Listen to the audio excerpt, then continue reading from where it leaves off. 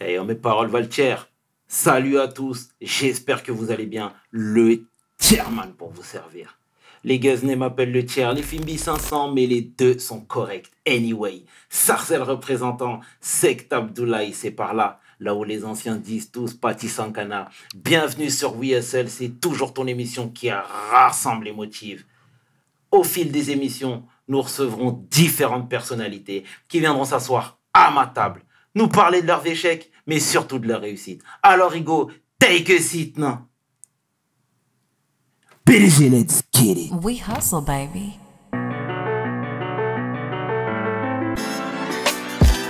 Le chairman. hustle, baby. Le chairman. hustle, baby. Le chairman. De retour sur We Hustle. Et aujourd'hui, pour la seconde fois, je suis fier d'accueillir l'homme que l'on nomme Kemi Seba. Take a seat, Ego. Kemi, comment tu vas? Ça va le frérot Et toi? Tout va bien? Toujours. Ça fait plaisir.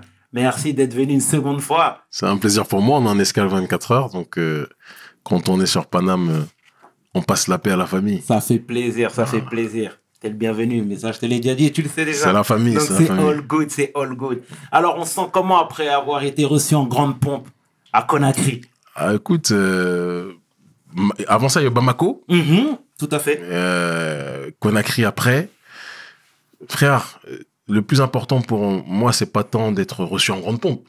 Parce qu'à la limite, ça, tu vois, on mène un combat politique. Donc, qu'on soit au HEPS ou qu'on soit reçu dans les, les, palais présidentiels ou autres, c'est pas le plus important.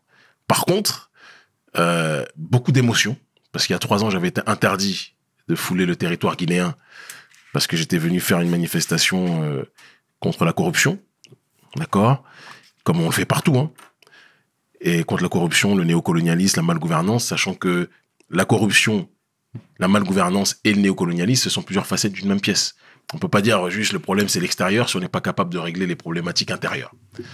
Donc euh, Alpha Condé m'avait interdit de rentrer, m'avait fait venir les militaires dans l'avion en disant que j'étais une menace grave de trouble à l'ordre public parce qu'il savait qu'il y avait beaucoup de monde qui nous attendait. Et euh, donc le fait que trois ans plus tard, le même qui m'a interdit de fouler le sol soit lui-même aux arrêts, il a été arrêté, mhm. Et que moi-même maintenant j'ai la possibilité de venir, c'est euh, pas une victoire euh, de ma petite personne. Il disait t'as jubilé pourtant. Je sais pas si c'est le terme, mais ouais, bien sûr que j'étais heureux quand la justice triomphe. T'es toujours heureux, tu comprends? Mhm.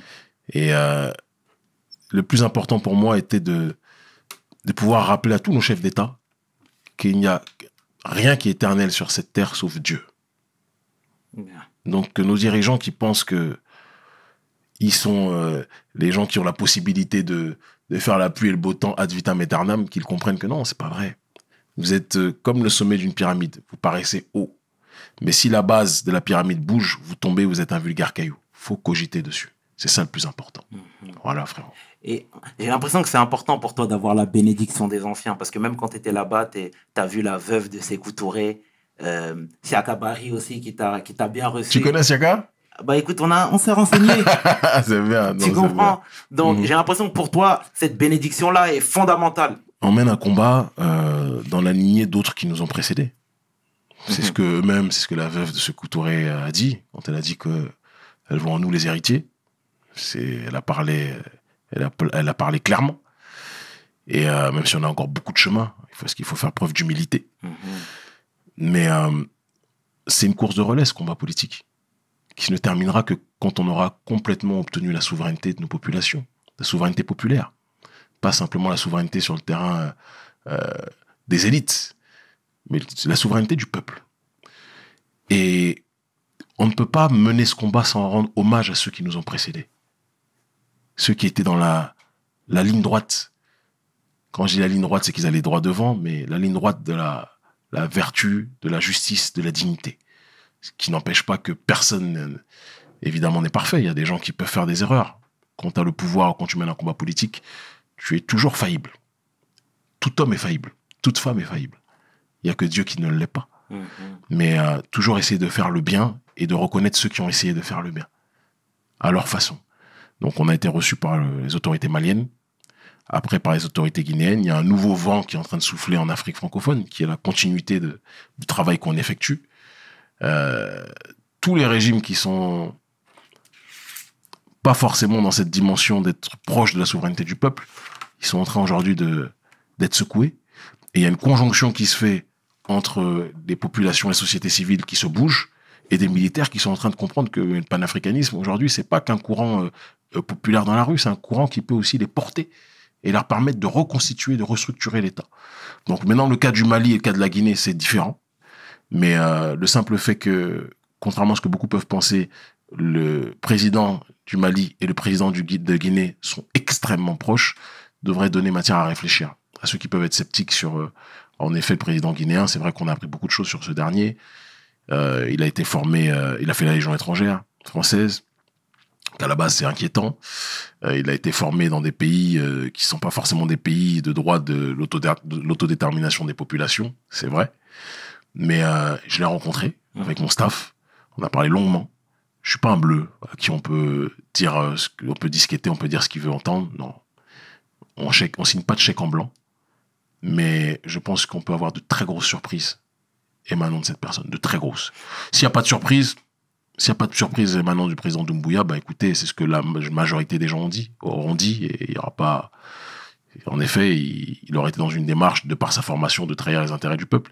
Mais je pense que beaucoup de gens risquent d'être beaucoup surpris. On verra. Très bien. Et tu répondrais quoi, toi, à celles et ceux qui disent que tu es un partisan, du coup, de, de, de, de M. Doumbia Comme je l'ai dit euh, de multiples reprises en Guinée, euh, c'est des tests fous. Pour parler simplement, c'est tu peux pas dire que tu es partisan tant que le bilan n'est pas établi. Mais de ce que j'ai ent- entendu, déjà le coup d'État, moi je le dis clairement, ce qui s'est passé, le coup d'État, c'est pas les Mhm. militaires qui l'ont fait, c'est Alpha Condé. Parce qu'il devait pas se présenter une troisième fois. Tu comprends? Mhm. donc c'est Alpha Condé, euh, le, le- le coup d'État. C'est un coup d'État institutionnel qu'il a fait. Et les militaires sont venus rectifier ce coup d'État-là. C'est ça qu'il faut dire. Donc il faut féliciter Doumbouya dessus. Maintenant, est-ce que, et même les premières mesures qu'il a prises vis-à-vis de tous les gens du régime, dans cette volonté de- d'être euh, le plus transparent vis-à-vis du peuple, il a des décisions fortes qu'il a prises. Il a saisi, il a saisi, par exemple, euh, un certain nombre de matériels. Il a bloqué des fonds euh, qui étaient euh, possédés euh, par justement les, les gens du camp euh, d'Alpha Condé, des sommes astronomiques qui normalement auraient dû servir à, à la gestion de l'État, qui étaient faits pour euh, gérer autre chose. Il a bloqué que ce soit les véhicules, un certain nombre de choses. Il y a des audits qui vont être faits. Il y a du volontarisme. Maintenant, je dis et je répète, c'est pas sur ça qu'on va juger pour dire on est partisan ou pas. C'est le temps et le bilan des actions qui permettront de euh, de comprendre si oui ou non on est dans une dynamique euh, de, de le soutenir. Mais jusqu'ici, déjà individuellement, j'étais très touché par le frère, avec beaucoup de fraternité. Il suit notre combat depuis des années. Et parallèlement à cela, euh, quelqu'un qui me dit que son exemple c'est Jerry Rawlings, c'est Thomas Sankara, sachant que c'est un très gros risque qu'il a pris de nous, de nous recevoir euh, de cette façon, sachant toutes les pressions qu'il y a sur lui à l'heure actuelle par rapport au coup d'État. Parce qu'il ne faut pas oublier que Alpha Condé, c'est un des grands pontes de la CDAO. Mhm. Et que donc, quand tu arrêtes Alpha Condé, tu as la pression de tous ces gens-là qui disent Ouais, la, la transition militaire doit pas durer très longtemps. Tu vois Donc, euh, il a l'Occident, il a d'autres personnes sur le dos. Certains vont dire que oui, mais c'est l'Occident qui l'a placé. Ça, c'est Dieu qui sait. Peut-être que même l'Occident a facilité qu'ils prennent le pouvoir. Mais combien de cas existe-t-il en sciences politiques où des gens ont été placés par des uns, par euh, certains camps, et les gens qui ont été placés finissent par se retourner contre le camp qui les a placés? Mhm. Ça, c'est l'histoire de l'humanité. Donc, il faut, faut faire preuve de, de nuance, de complexité et d'étude du terrain. C'est pour ça que je me, je m'éloigne toujours des, des, comment, des, des géopolitologues de la Sorbonne qui, bien assis sur euh, leur banc frais, euh, climatisé euh, de la Sorbonne, complètement éloignés des réalités du terrain. Ils vont te parler à travers ce qu'ils voient euh, dans des livres écrits par des gens qui ont une vision précise euh, de l'histoire, qui est une vision euh, très occidentale. Moi, je suis quelqu'un qui est un, un adepte de la science politique du terrain. Le- Eh, Je te disais, frérot, on te considère comme étant... euh, Il y, a- il y a certains sympathisants qui te considèrent comme étant le Black Che Guevara. Ah, j'ai pas le béret, hein. Mais, Tu euh, comprends? ouais, je Lui, il comprends. utilisait, il utilisait son statut de médecin pour se faufiler un peu partout en temps de guerre. Mhm. Tu Ouais. utilises quoi, toi? Moi, j'utilise mon verbe, j'utilise ma connaissance euh, de l'histoire de notre peuple, j'utilise ma connaissance des différentes psychologies de notre peuple, que j'ai mis du temps à étudier quand même, 20 ans. C'est pas rien. Euh, dirais même plus que j'ai commencé l'activisme politique en 1999, mais j'ai commencé à étudier à partir de 97. Et j'étudie constamment. J'étais avec mon staff tout à l'heure qui me dit que je suis un Mhm. mec qui me prend la tête maladivement dans, dans l'étude quotidienne, régulière. Euh, et pas qu'à travers les ouvrages, à travers les rencontres aussi, mais beaucoup les ouvrages. Et l'arme de Duce, c'était pas tant être médecin pour se faufiler, parce qu'à la fin, il y allait en tant que révolutionnaire, tout court, et organisateur de, de, de structures révolutionnaires. Il y a une parabole qu'un journaliste malien a fait en disant que le Che, bien qu'argentin, Mhm. pardon, il allait dans tous les pays, euh, euh, d'abord d'Amérique latine et après même euh, dans différents endroits du monde pour installer le processus révolutionnaire euh, dans la dimension de la lutte armée. Et il me dit que moi, je vais, moi béninois, je me faufile partout dans les sociétés où il y a des noirs ou des afrodescendants, d'accord? Et même in extenso, hein, aussi euh, en Afrique du Nord, euh, dans certaines contrées. Et pour propager cette dimension panafricaniste, je dis oui, la, la parabole sur ce terrain-là est réelle, parce que la guerre est toujours présente. Mais l'ontologie n'est pas forcément la même de un, et la méthodologie n'est pas sur certains points la même, parce que le contexte actuel ne s'y prête pas systématiquement. Moi, je sais c'est quoi la, force de la violence. Ceux qui m'ont connu au début de mon parcours politique savent que euh, la violence, j'ai jamais hésité à l'utiliser quand c'était nécessaire, dans le cadre de l'autodéfense. Mais j'ai compris aussi la puissance de transcender cette étape et de toucher, dans un cadre d'ingénierie sociale, les consciences. Celui qui travaille les consciences peut libérer un peuple.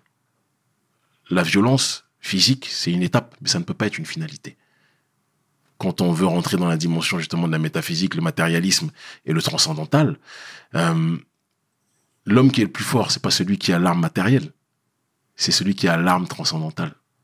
Tu comprends ce que je veux Mhm. dire? Et la manière, j'ai commencé, on, on touchait 10-15 personnes dans des salles, on faisait des meetings, ceux qui nous suivaient à, à l'époque à Belleville, il y, a, il y a 16 ans ou 17 ans de cela. Aujourd'hui, il n'y a pas de meeting que je fais, euh, des mobilisations contre le néocolonialisme où je réunis pas des milliers de gens dans tous les pays où on va. Mais ça, c'est pas Kémy Seba, c'est pas mon petit cerveau d'autodidacte. C'est la démarche transcendantale. Mhm. Parce que je pense que je me suis câblé à la bonne source, sans rentrer dans des détails. Et propager ce message d'autodétermination de notre population et de connaissance de soi, c'est ce qui libère le peuple.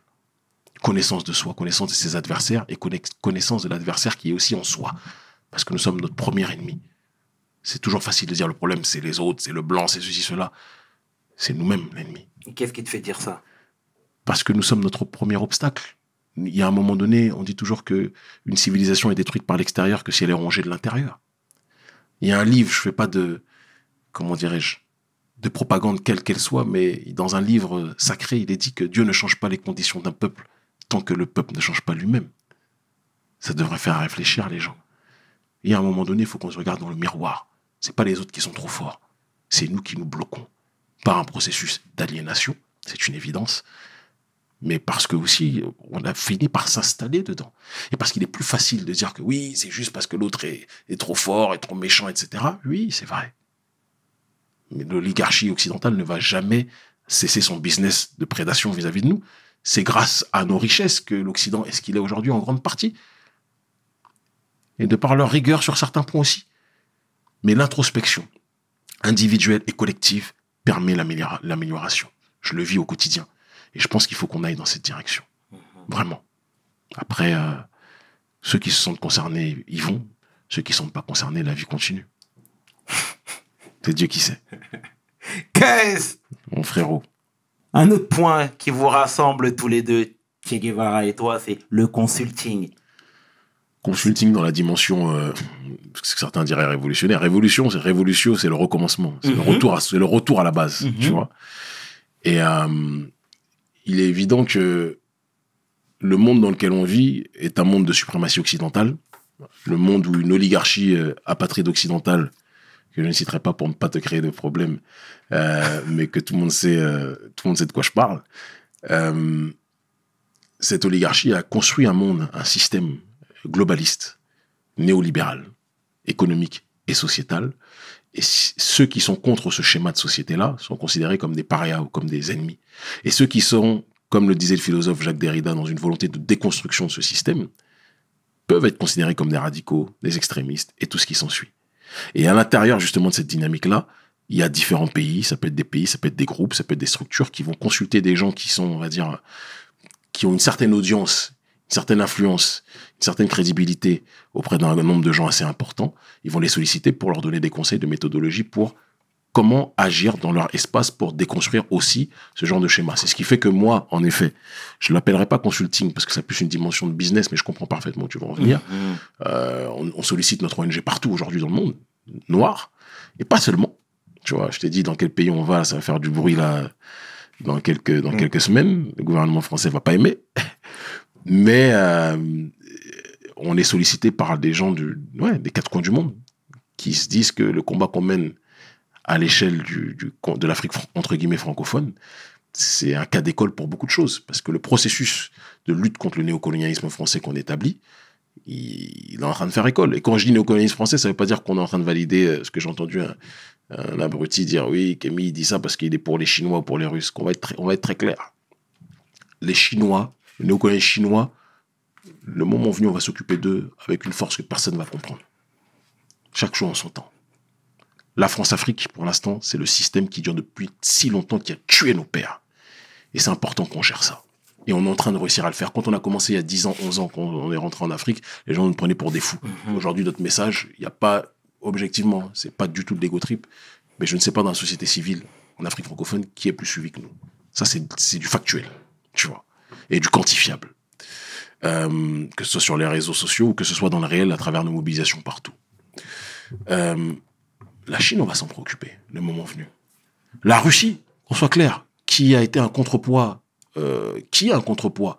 Parce que quand tu es contre un- une bête et, que tu n'as pas la possibilité solo de pouvoir le battre, il faut faire preuve de stratégie. Prendre un élément qui peut être proportionnellement aussi imposant que celui qui est ton ennemi et faire en sorte que les uns et les autres se tapent pendant que toi tu puisses reculer. Et maintenant négocier d'une autre façon avec le nouveau venu pour être cette fois-ci dans une autre dynamique que ce qui a toujours été, c'est-à-dire du gagnant de leur côté, du pardon d'une autre. Mais moi, frère, je sais comment les Africains sont traités en Russie, je suis pas bête. Qu'on soit très clair. Et l'axe Russie-Afrique. Mais non, l'axe Russie-Afrique, c'est l'axe de la souveraineté africaine dans une dynamique multipolaire. C'est-à-dire qu'on soit capable, moi je suis pas quelqu'un qui prône l'autarcie, je prône l'Afrique-Afrique en priorité. Mhm. Maintenant, qu'on soit très clair, je pense que euh, il faut qu'on soit capable de diversifier aussi en dehors de l'Afrique, qui est la priorité, les, relations intra-africaines. C'est ça l'essence du panafricanisme. Qu'on puisse, et ça c'est la géopolitique, diversifier les partenariats euh, internationaux de telle sorte que on sorte de l'escarcelle occidentale. Parce qu'on résume aujourd'hui la communauté internationale à un gang de quelques nations occidentales. C'est des gangsters.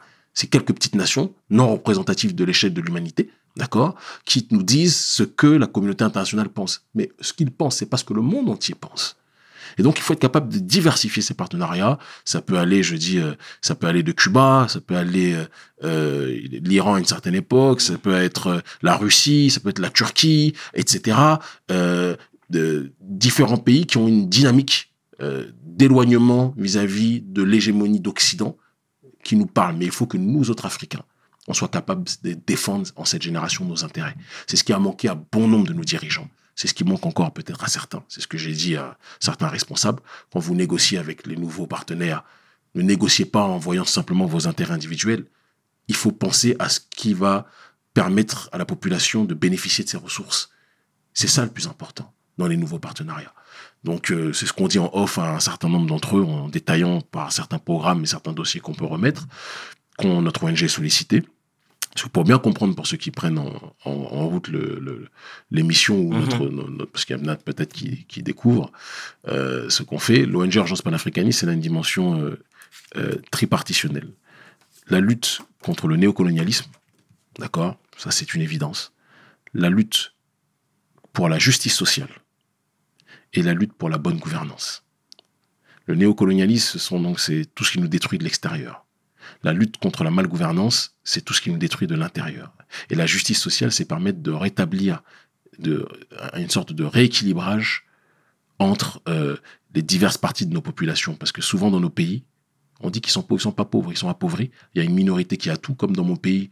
Dans mon pays, le Bénin, si tu es dans le clan du président Talon, t'es refait, t'es bien. Moi, j'ai connu des gens. dans quel camp? Moi, je suis dans le camp du peuple, donc je peux pas être dans le camp d'un prédateur capitaliste comme Talon. C'est un prédateur. C'est quelqu'un qui ne voit le monde qu'à travers, euh, euh, comment dirais-je, le profit, même si la- les trois quarts de la population vivent en dessous du seuil de pauvreté le plus puissant. Il construit des routes pour être bien vu des touristes, il construit quelques infrastructures, mais le peuple crève. J'ai connu des, panafri- des, des prétendus panafricains de Paname qui disaient oui, justice pour le peuple. Quand ils sont arrivés là-bas, ils ont été ralasses par Talon, ou ils ont été ralasses par son régime, et maintenant ils se taisent parce que l'argent ça achète les consciences. T'auras des problèmes. Moi j'ai aucun problème. Moi je dis ce que je pense toujours. On m'a mis au placard, la prison, c'est devenu l'hôtel pour moi. Tu me fais les menaces de mort, c'est devenu des distractions pour moi. Tous ceux qui me connaissent le savent. Donc euh, Talon est un persécuteur. La plupart des gens d'ailleurs dans notre pays euh, de, l'opposition, soit ils sont en prison, soit ils sont en exil. Moi, on m'attaque pas pour l'instant, et je pense, si je dois faire une analyse de fond, que c'est parce que Talon est très regardant par rapport à, la perception euh, que les populations africaines ont de lui. Et donc, il sait que je suis très suivi en, très suivi en Afrique francophone. Mhm. Et je pense que c'est la seule raison qui fait que pour l'instant, euh, il n'y a pas d'attaque frontale. Ça peut être d'autres choses, ça peut être les impôts, ça peut être euh, d'autres choses, etc. Ça, c'est des, des canaux par lesquels il peut passer.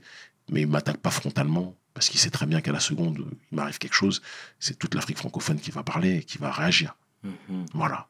Mais, ouais, D'accord. vas-y. Je voudrais rebondir toujours sur l'axe euh, Russie-Afrique. Il y a Luc Emayou, journaliste sur TV5, qui est également chroniqueur, a dit que c'était prématuré, euh, euh, l'axe Russie-Afrique. C'est quoi, toi, ton regard par rapport à ça? La seule priorité, c'est l'axe Afrique-Afrique. C'est une réalité. Et si on en est aujourd'hui à parler de pays qu'on relie à la dynamique de certains... Déjà, petite précision, ce que Kemayou, lui, Magloire Kemayou dit, je le prends que très rarement au sérieux. Ça, tu le permettras. Après, ça t'empêche pas. Toi, tu peux avoir tes amitiés, j'ai les miennes. Mais politiquement, c'est pas quelqu'un que je prends au sérieux. Ma parole n'engage que moi.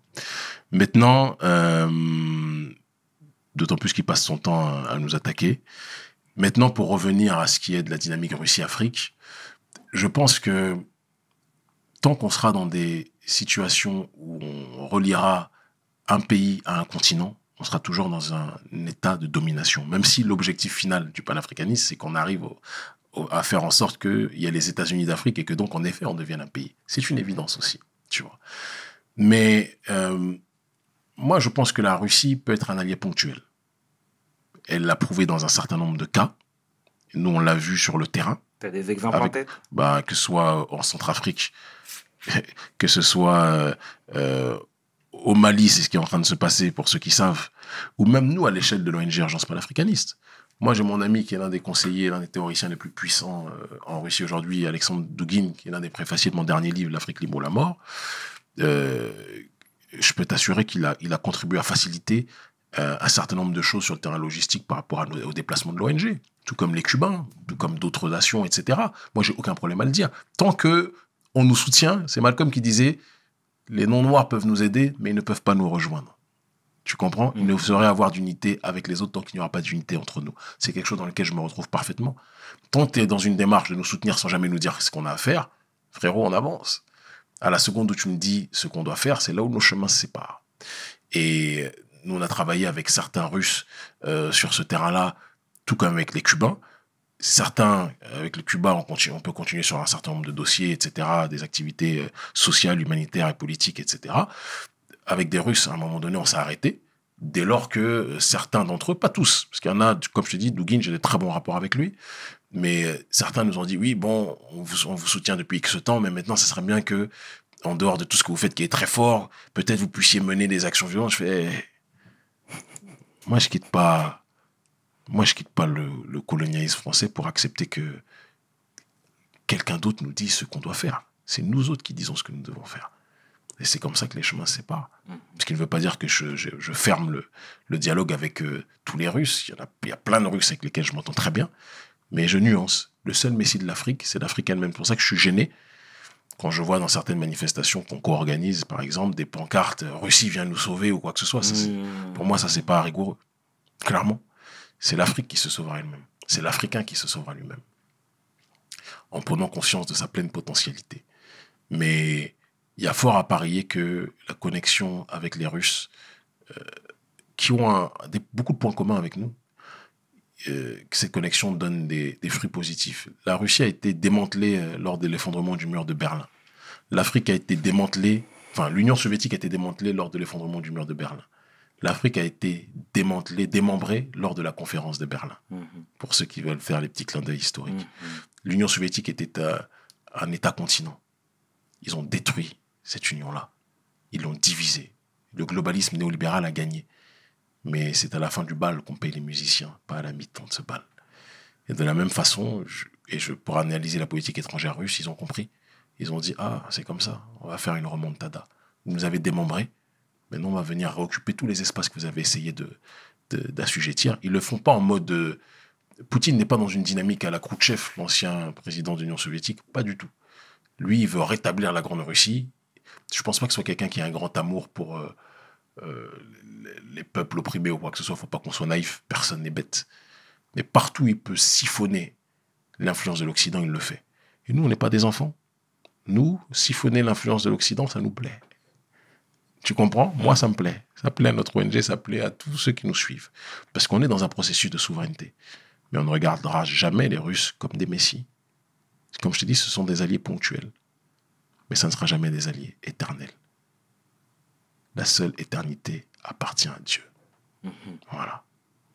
Et justement, tu fais bien de- de- d'en parler parce que je t'ai vu au Mali et je voyais également des pancartes où il s'était écrit La Russie, on a besoin de vous, on a Ouais, besoin de je vous. me suis exprimé dessus à fond. J'ai dit que pour moi, ça, c'est pas nécessaire. Aujourd'hui, il y a une volonté de reformer une armée malienne compétitive, tu vois, et de faire en sorte que celle-ci puisse, à terme, subvenir à ses propres besoins et à sa propre sécurité. C'est ce que l'on souhaite. Et donc, dans ce cadre-là, la présence russe temporaire peut être un, un, un élément euh, de choix, un atout. Mais Mhm. faire attention de ne pas en faire euh, une finalité. Tu vois un respect à Kadhafi, toi? Profondément. Alors, euh, ça Il me- était, il était pas tout blanc. si tu me cites une seule personne qui est parfaite sur cette terre, si tu m'en cites une seule, Mhm. à part les prophètes peut-être, à part les messagers de Dieu, quelle que soit la langue qu'ils parlaient et quel que soit le peuple dans lequel ils ont été envoyés, à part les ancêtres méritants qui marchaient dans la, rectitude divine, à part eux, je ne sais pas s'il y a des gens vraiment qui sont du domaine de la perfection, et je me méfie des gens qui veulent jouer les saints. Et après, tu te rends compte que la vie, elle est plus compliquée que ça. C'est pour ça que j'ai toujours dit que moi, je préfère euh, les gens qui se présentent en mode thug life et qui parfois, euh, comment dirais-je, exacerbent un trait qui peut être un défaut.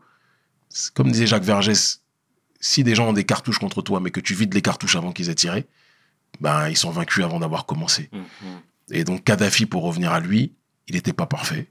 Il n'était pas parfait. Je ne le suis pas non plus. Tu comprends? Bien sûr. c'est tout. Et il y a des gens, des personnes qui ont perdu beaucoup, qui étaient très brillantes, mais qui ont joué les personnes euh, un peu trop saines ou trop parfaites, mais qui étaient que des hommes. Et ils sont tombés, comme Icar. Parce qu'à un moment donné, quand tu n'es pas transparent dans tes faiblesses comme dans tes forces, tu es vaincu. Kadhafi était un homme qui a eu des excès, qui a fait des choses qui n'étaient pas justes, mais je sais juste une chose. Kadhafi, l'arabe que tu vois là, ce qu'il a fait pour les mouvements noirs de libération. Je ne connais pas de dirigeants africains qui ont fait ça au XXe siècle. Est-ce que ça, on peut le dire? Il faut qu'on puisse être capable de le dire. Les mouvements de libération, les mouvements d'autodétermination, les mouvements révolutionnaires africains. Alors oui, il n'a pas fait que des choses bien, aussi. Mais je connais personne qui a fait que des choses bien. Je connais personne, même les gens auxquels les, personnes voient un culte parce qu'ils connaissent pas l'histoire dans l'intégralité. euh, rien n'est parfait. Rien n'est parfait. On a tous des défauts. Arrêtons de jouer aux super-héros. Kadhafi, ce qu'il a fait à son niveau en tant que simple homme, il a fait beaucoup. Aujourd'hui, je vois qu'il y a un changement chez certaines personnes qui euh, valident Kadhafi parce qu'après la mort, les gens sont toujours plus lucides, sauf certaines exceptions. Nous, à l'époque où, euh, même dans le monde arabe, il était détesté, Kadhafi, on le validait. La dernière visite qu'il a fait en France à l'UNESCO, quand il était venu planter sa tente, t'étais jeune à cette époque, je pense, planter sa tente à l'Élysée, il avait rencontré euh, les différents représentants des associations diasporiques africaines grâce à, à ma grande sœur que j'aime énormément, Calixte Beyala, l'écrivaine, la grande écrivaine camerounaise. J'avais fait partie de cette délégation qu'il avait rencontrée. D'accord. Kadhafi, oui, Kadhafi, grand monsieur. Des erreurs, certes, mais grand monsieur. Qu'on essaye déjà de faire ce qu'il a fait de bien. Après, on pourra débattre de ce qu'il a fait de mal. Il en a fait du mal aussi. Peut-être que quand certains arrivent à ce degré de pouvoir, ils font du mal aussi. On fait tous du mal, on fait tous du bien. Essayons de faire en sorte que le bien soit plus important que les choses pas bien qu'on fait ou des choses pas licites que l'on fait. Mais ne jouons pas aux anges. Bélec aux anges, frère. Mhm. Et, Aux gens, aux prétendus anges. Aux anges non assermentés. et tu tires également un boulet rouge sur la CDAO.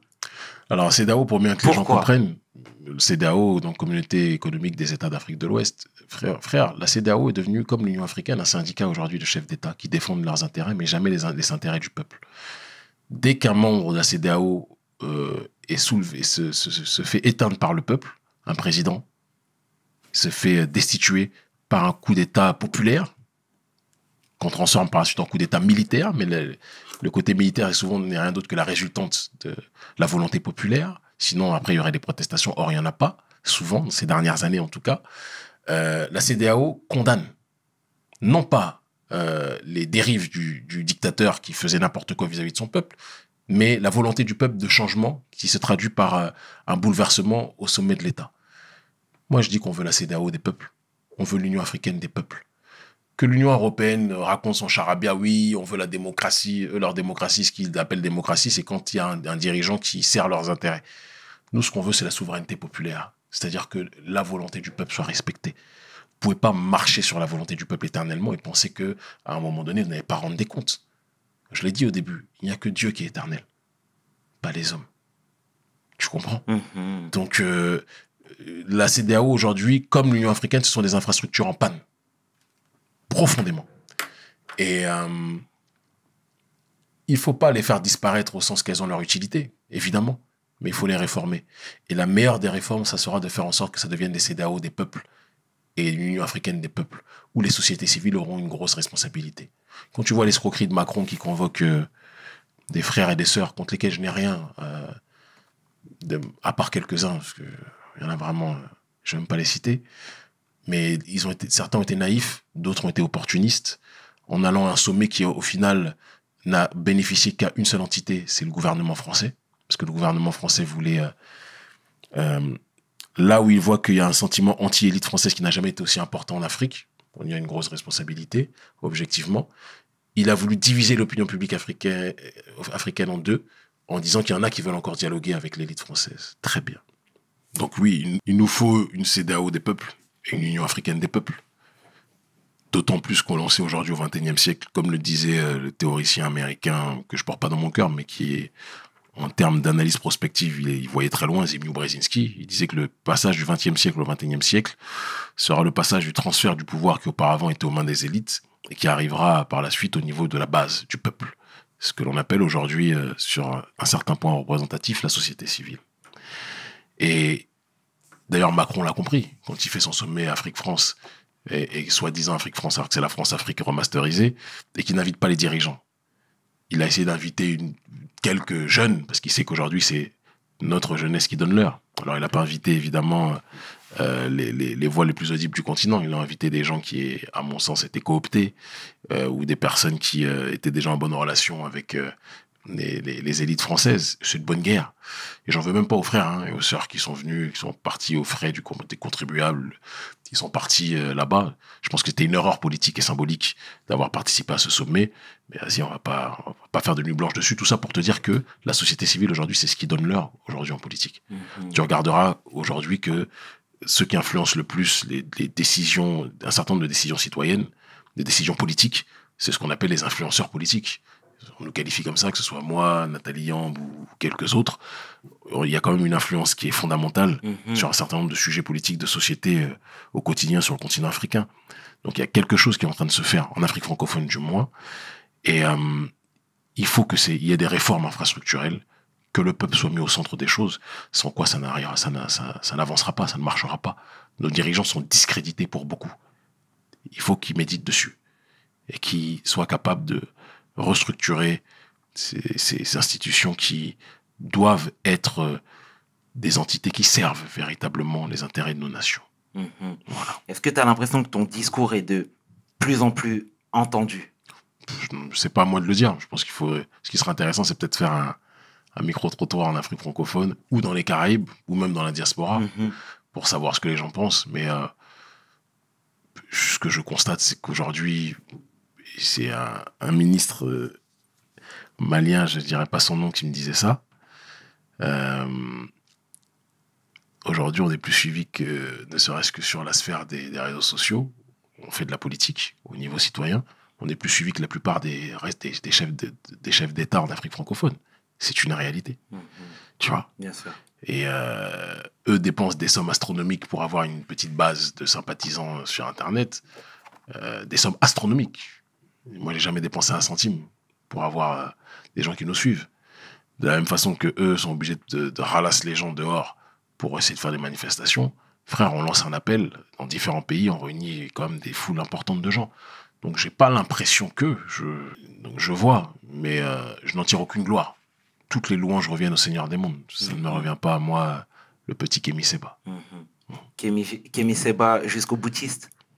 Ah, ça, c'est, je crois que c'est ma loi de vie, c'est ça, c'est aller jusqu'au bout de, de ce que j'estime être juste Mhm. et en conformité avec ce en quoi je crois. Et euh, le le sentiment de justice, c'est ce qui m'anime. Et la lutte contre ce qui est injuste, c'est ce qui euh, fait aussi que je me tiens debout. On a chacun une mission sur Terre. À nous de la découvrir, puis de l'accomplir ou de la trahir, disait Franz Fanon. Voilà. Et pourquoi je te dis jusqu'au boutiste? Parce que dès le départ, euh, même pendant tes, tes actions de la Tribuca, tu disais le Back to Africa de Marcus Garvey. Mhm. Et aujourd'hui, tu y es. Après, tu sais, à une époque, aller en Afrique était un miracle. Mhm. Aujourd'hui, il ne s'agit pas d'aller en Afrique. Tout le monde peut aller en Afrique, se faire du tourisme ou chill dans les belles villes. Ce qui compte, c'est ce que tu fais en Afrique. C'est ce que tu essaies d'établir en Afrique. Que ce soit sur le combat politique, social, sur la bataille des idées, comme le disait Gramsci, la bataille culturelle, euh, qu'on est en train, sur un certain nombre de points, de gagner. Euh, n'en déplaise aux, Sorbonnards, aux Afro-Sorbonnards, euh, qui, de, leur cercle fermé à Paris, voudraient nous dire comment il faudrait faire les choses, mais sont pas capables de toucher la masse comme on le fait, de l'éduquer comme on le fait. On est en train de gagner sur un certain nombre de points. Puis après aussi sur la valorisation des produits locaux, on essaye de faire notre travail aussi pour faire avancer les choses. Ah, c'est très bien, c'est excellent, bro, c'est excellent. Euh, Kémy, arrête-moi si je me trompe, mais j'ai l'impression qu'avec l'âge, tu es devenu encore plus spirituel. C'est une lubie de ma part? Je pense que c'est une perception qui n'est pas forcément en adéquation avec euh, le réel. J'ai toujours été quelqu'un qui euh, s'est préoccupé de, de la démarche transcendantale et du rapport à, au Seigneur des mondes, au Créateur. Après, euh, moi, j'aime pas ce côté en France où euh, tu, tu parles de Dieu comme tu parles de, de manger une pizza, tu parles de Dieu comme tu parles de, de des gouttes de cuisine, etc. Il y, a du, de- il y a le domaine de l'intime Mhm. quand on parle de tout ce qui a trait au spirituel, spirituel, spiritus, l'esprit, l'esprit du Seigneur des mondes, c'est ce qui euh, anime l'univers dans sa globalité. Et quand tu te connectes à la source, ben forcément, tu es toujours beaucoup plus renforcé. C'est tout. Pas besoin d'en dire plus. Je m'adresse à un public très large, avec des sensibilités très différentes. Ceux qui me connaissent savent que je suis un, un de métaphysique quelqu'un qui s'est noyé dans les écrits de René Guénon. Tout le monde connaît, euh, enfin ceux qui connaissent René Guénon savent quel a été son chemin. Et donc ils peuvent deviner euh, les différentes étapes qui sont les miennes. C'est tout ce que j'ai à dire. Voilà. Le message est passé. Mais une chose est certaine, j'essaie de marcher dans la, la voie des ancêtres méritants qui, sont, qui se sont soumis au Seigneur des mondes et qui ont établi la démarche de rectitude et de justice dans ce monde. C'est la démarche qui est la mienne. Honorer ceux qui nous ont précédés et qui étaient dans la voie de la rectitude vis-à-vis de la soumission de l'unicité divine et en priorité au-dessus de tout. Honorer le Seigneur des mondes Mhm. même s'il n'a pas besoin de nous d'être, pour être honoré, mais nous, on a besoin de l'honorer pour euh, nous rappeler quel est notre rôle sur Terre. C'est tout ce que j'ai à dire. Voilà. Comprendra qui pourra. Ils finiront par comprendre. Kémy, le Béninois, installé au, Bén- au Bénin. Mhm.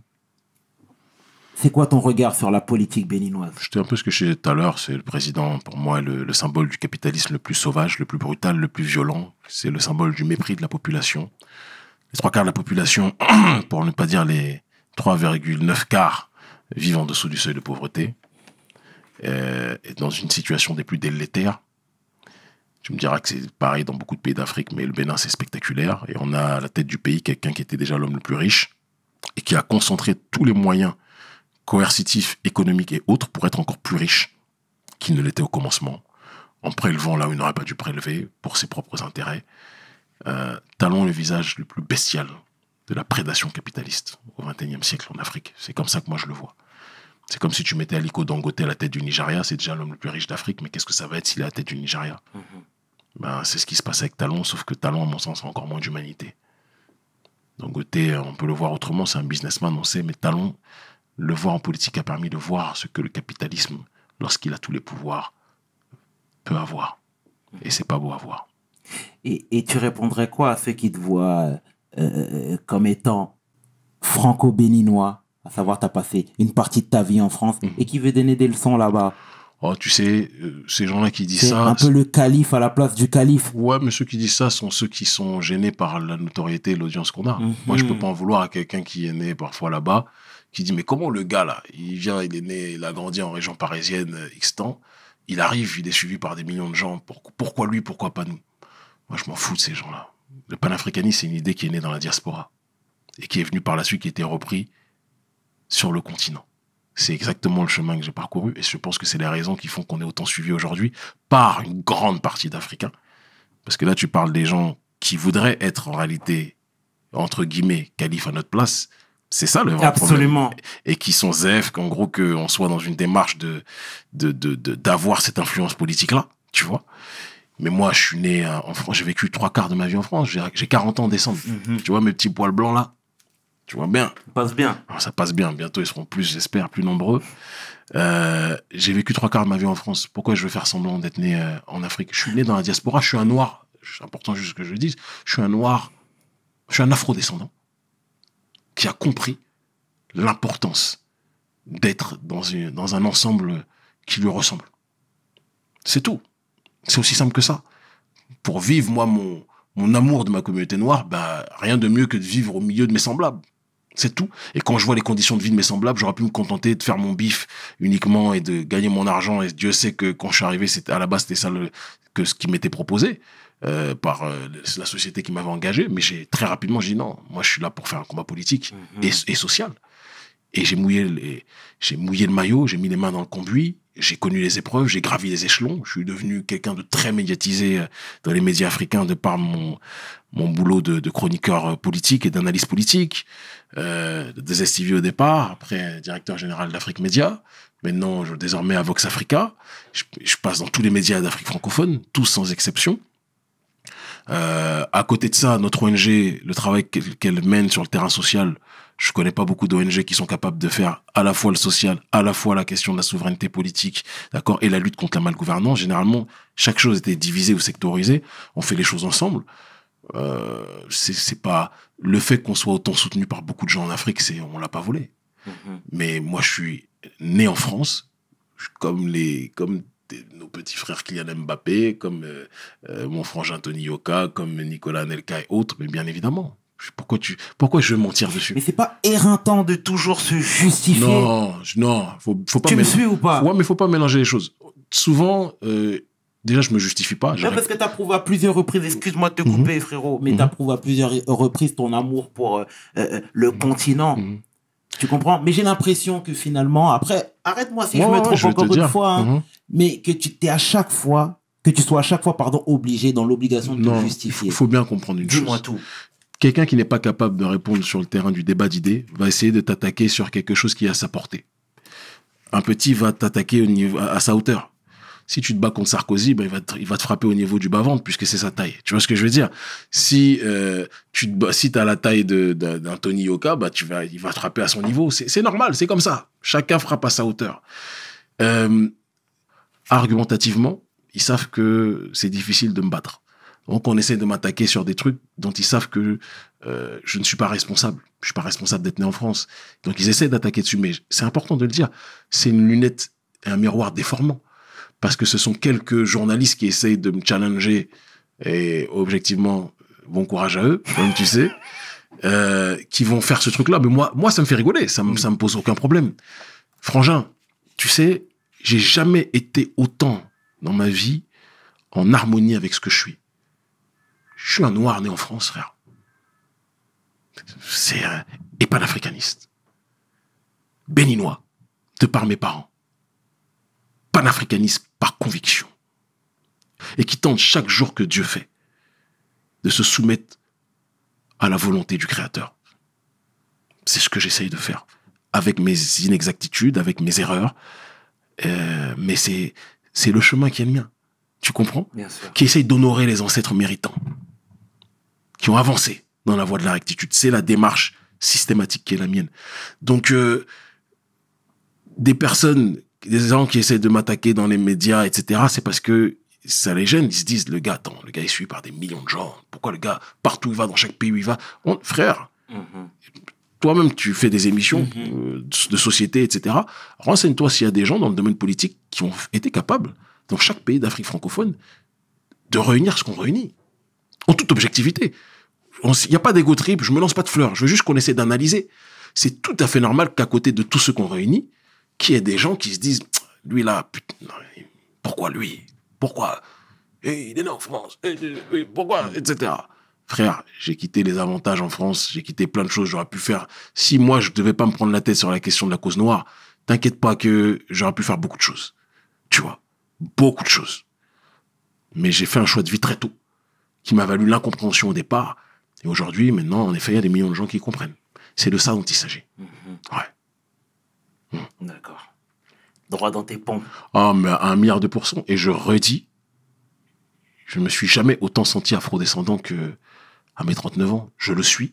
Et en même temps, je me suis jamais senti autant panafricaniste qu'aujourd'hui. C'est-à-dire que je suis un citoyen universel du monde africain, du monde afro. Partout notre peuple est, de Salvador de Bahia au Brésil, jusqu'à Cotonou, jusqu'à à Lomé, à Yamoussoukro, à Bobo Dioulasso, à Conakry, etc., à Cap Town, peu importe où notre peuple est, je suis. Tu Un comprends? Un mot pour le Maghreb. le Maghreb, je le dis clairement, il y a une erreur parfois qui est faite, je pense, euh, dans certains courants du panafricanisme, c'est de penser que parce qu'il y a de la négrophobie qui existe, qui est réelle au Maghreb, il faut qu'on crée une scission avec le Maghreb, etc. Non. Moi, je le dis, oui, je vais te répondre. Mhm, mhm. je te réponds très clairement en te disant que bien sûr qu'il y a de la négrophobie, qu'il y a du racisme euh, qui est présent au Maghreb. On va pas faire du blind test. On va pas faire, on va pas agir euh, de manière aveugle. On va pas faire du, du Red Charles. Mais c'est pas parce qu'il y a des mauvais comportements qu'on doit globaliser à la réalité donc générale de ces pays-là. C'est le premier point. D'accord? La deuxième chose, c'est qu'on oublie de manière fondamentale qu'une grande partie de ces populations maghrébines sont noires. Bien sûr. Des gens oublient que une grande, tu vois, au Maroc, il y a une grande partie de la population qui est noire comme Bien toi, sûr, comme bien moi. sûr. En Algérie, pareil. En Tunisie, pareil. Tu vois ce que je veux Donc, Bien sûr. euh, à un moment donné, les gens, faut qu'ils apprennent à réfléchir aussi sur ces situations-là en disant, ouais, on veut la rupture avec... Non, il n'y a pas de rupture avec le Maghreb. Il faut changer certains comportements. Et de la même façon, je dis aussi aux nôtres, quand t'es du Congo, quand t'es de Guinée, quand t'es de, du Bénin, arrête toujours de penser que ça va être mieux euh, en Afrique du Nord. Fais en sorte de tout faire pour consolider mm, ton pays, nos pays, d'accord? Et quand on va être suffisamment fort, les interactions qu'il y aura entre l'Afrique subsaharienne et l'Afrique du Nord seront beaucoup plus solides. Mais arrêtons d'aller toujours en mode, euh, c'est eux qui ont tout, nous on n'a rien, on va apprendre chez. Non, parce que eux ne font pas la même chez nous. Eux ils restent dans leur pays parce qu'ils ont en effet sans doute, euh, euh, je vais pas dire des États mieux gérés parce que c'est pas vrai, mais il y a une différence infrastructurelle qui a été régie par l'histoire aussi. Reconnaissons-le. Mais il faut qu'on stoppe ce, ce- ce comportement de, de, de, de migrants économiques systématiques et qu'on réalise que l'or, il est sous nos pieds. Et je t'assure que ça va changer beaucoup de choses. Mhm. C'est de ça dont il s'agit. Maintenant, moi j'ai toujours dit, quelqu'un qui fait preuve de fraternité avec moi, je le valide. Bien sûr. Je, par- je parlais avec mon frère Kamel l'Ancien, à qui je passe un- une grosse paix, tu vois, même. que j'aime énormément. Euh, ou à Ali, Bien mon sûr. grand frère, euh, ex de Lunatic. Moi, l'africanité, c'est dans sa globalité black, brown. Tu vois Clairement. Maintenant, si tu es quelqu'un qui t'oppose à ma négritude, qui t'o- qui t'oppose à ma couleur de peau, frère, je vais t'éteindre. quelle que soit ta couleur de, quelle que soit ta couleur de peau. Donc, la, la question, elle se situe là. Maintenant, qu'il y ait du racisme qui existe au Maghreb, c'est une réalité. Elle est, elle est réelle. Tout comme si on va aller plus loin, même si ce n'est pas dans la même unité de mesure, qu'on soit très clair. Je vais dans un pays qui est la Guinée, mais les tensions et qui existent entre certaines ethnies, elles sont réelles aussi. Les problèmes qu'on a par rapport entre les pays d'Afrique noire et certains pays ou certaines parties de pays en Afrique du Nord, il faut que ces problèmes-là soient réglés. Et moi, j'ai pas été de ceux qui commentent sur Internet et qui, quand ils vont là-bas, disent rien. J'ai fait des conférences où j'ai interpellé les gens en disant, euh, ceux qui disaient, oui, pourquoi vous ne mêlez pas plus l'Afrique du Nord au combat panafricain? je réponds, je leur dis, mais le, le panafricanisme n'a pas attendu Kémy Seba pour, euh, à la base, ra- rallier l'Afrique du Nord. Mais on a une période aujourd'hui où le monde a changé, où le globalisme a bouleversé beaucoup de choses, et aujourd'hui, des alliés temporaires d'une période sont sur certains points parfois vus comme des, des adversaires ou comme des, des, des, des, des cibles à abattre. Et je dis, et je dis que l'Afrique ne sera forte que quand elle comprendra que c'est du nord au sud et de l'est à l'ouest qu'elle doit être unie. Mais elle doit être unie dans le cadre de la justice. La négrophobie est un cancer à éradiquer. Certains me disent, ouais, mais Kémy, tu dis ça, mais quand il y a la haine contre les Arabes, tu dis rien. Excuse-moi, frère. Il n'y a pas d'arabophobie systématique dans les pays d'Afrique subsaharienne, comme il y a une négrophobie. Mais il y en a. Non, non. Je te laisse finir. Le mot systématique a son sens. Faut Dis-moi. pas qu'on fasse les, les mythos non plus. Bien sûr, dis-moi, dis-moi. Parce que la question, c'est, la vie, c'est une question de mesure. La négrophobie qui existe dans certains pays d'Afrique du Nord, elle est réelle et elle est massive. Faut pas qu'on parle chinois. Moi, j'ai fait beaucoup de pays du Maghreb. Mm. Tu vois? L'arabophobie qui existe, elle peut être conjoncturelle, elle peut exister à des états beaucoup plus résiduels. Mais l'Africain subsaharien est beaucoup plus accueillant vis-à-vis du reste de l'humanité que c'est le cas dans le Maghreb. Reconnaissons-le aussi. Mais non, moi, je suis pas, oh, on n'est pas aimé au Maghreb. Pren- Prenons-nous en charge. Arrêtons de faire les bolosses de l'humanité. Arrêtons de toujours dire, ouais, on n'est pas aimé ceci, on n'est pas aimé cela. Bâtissons nos pays. Et c'est en bâtissant nos pays qu'on imposera aussi le rapport de respect. C'est ce en quoi je crois. Mais qu'on arrête de mettre sur le même pied d'égalité des choses qui n'ont pas la même mesure. Ça, je suis contre ça. Tu comprends? Il n'y a jamais eu d'esclavage noir vis-à-vis des Arabes. Le contraire est réel. Non, mais en fait, quand je te dis ça, mon bro, c'est combattre le racisme sur tout- sous toutes ses formes. Qu'il soit petit Le ou grand. racisme, c'est une question de pouvoir. Mhm. Il y a des États où le racisme structurel vis-à-vis des Noirs, il commence par le haut. C'est une réalité. C'est pas le cas de l'Afrique subsaharienne. Il y a aucun pays où il y a une politique. Le racisme, c'est une question structurelle. C'est pas une question de juste j'aime pas. Si tu veux me dire est-ce qu'il y a un sentiment d'hostilité vis-à-vis des Arabes, ça existe dans plusieurs contrées en, en Afrique subsaharienne. C'est une réalité. En aucun cas la même proportion que dans le monde arabe vis-à-vis des Noirs. Soyons aussi honnêtes. Maintenant, il y a une dynamique de racisme structurel qui existe dans certains pays d'Afrique du Nord, qui est due aussi à l'aliénation, parce que certains pays d'Afrique du Nord oublient aussi quelle est leur racine. Tu comprends? Et ça, c'est un travail de fond qui doit être fait.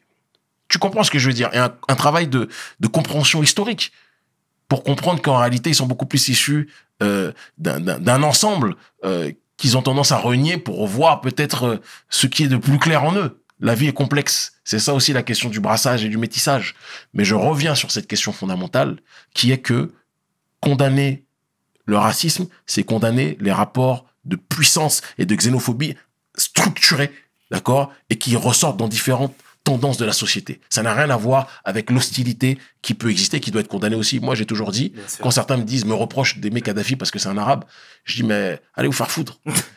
parce que ce que Kadhafi a fait pour certains mouvements révolutionnaires noirs, il y a peu de dirigeants noirs qui ont été capables de le faire. Fin de l'histoire. Mais il faudra régler ces questions. Mhm. Et ce n'est pas en fermant les yeux sous prétexte que on a des amitiés ceci cela que les choses changeront. Et moi je vais là-bas, je vais dans ces pays. On va retourner dans c'est les Covid qui bloquent certains accès à certains pays, mais je suis invité par partout avec notre ONG. L'urgence panafricaniste passe le message et mène les actions sociales et politiques partout. Parce que le panafricanisme doit pénétrer toutes les escarcelles du continent. C'est ce en quoi je crois. Voilà.